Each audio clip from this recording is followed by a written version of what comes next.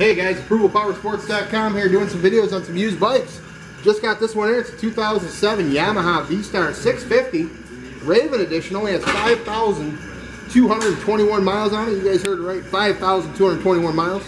Just serviced at the factory authorized Yamaha dealership, inspected, certified. All the fluids been changed. This one is ready to go. It's got gloss black paint with uh, some ghost flames, tons of chrome, good looking bike, great starter bike. Only $34.99.